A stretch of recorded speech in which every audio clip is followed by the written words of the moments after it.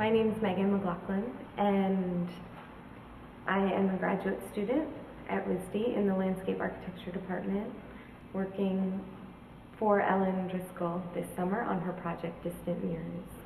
Um, the thing that I find most interesting about about working on this project and the part that I learned the most about Ellen's process, I think, is the idea of using uh, three-dimensional forms as a drawing.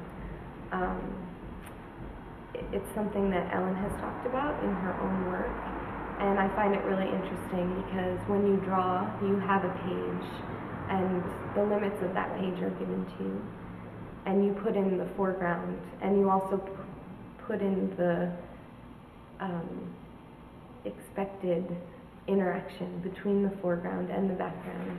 And when you have forms, um, especially in dealing with the landscape and larger scales, the interaction between those forms or the foreground and the background becomes really interesting. And it's, it's something that doesn't come from your own head, but from the things that are there.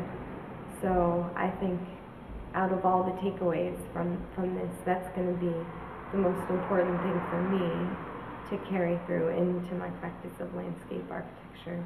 Another thing that was really interesting about working on this project is the scale and the difference um, the difference in scale when you start working with the landscape and in larger projects is that everything is so relative.